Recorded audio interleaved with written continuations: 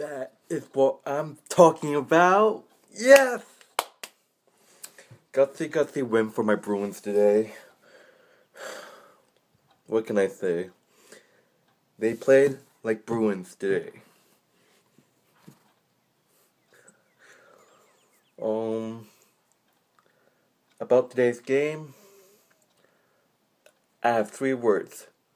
Milan Lucic Reilly Smith, and I can't remember that other guy name, but it was his first NHL goal.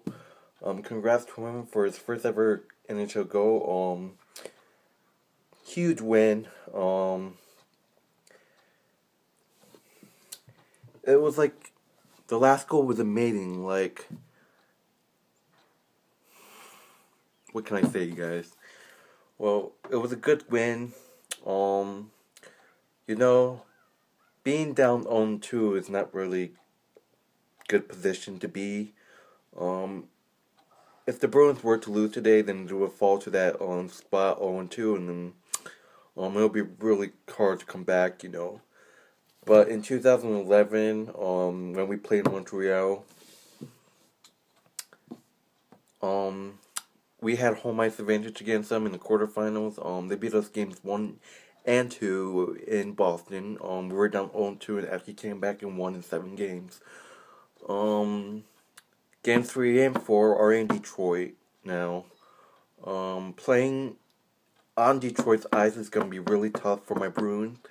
Um, and yes, I believe that the Bruins will have a tough game up, up ahead them up ahead of them, and they need to work hard.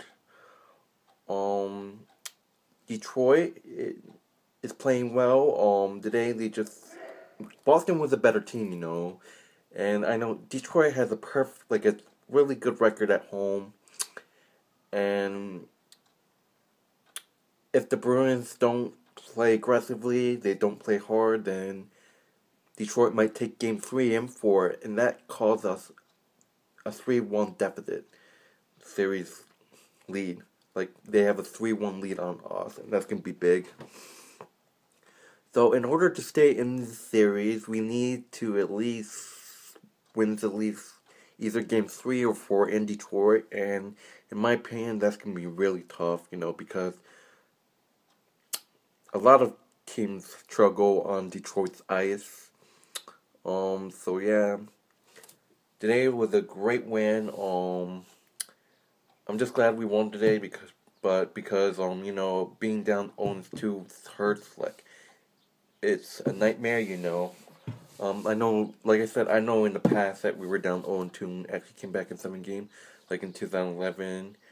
Um, Vancouver had a 2 nothing lead on us in the Stanley Cup final, and we end up winning the Stanley Cup in 2011 in seven games.